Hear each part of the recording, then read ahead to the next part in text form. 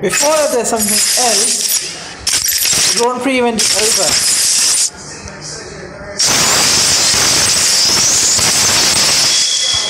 No keys? Yep, no keys.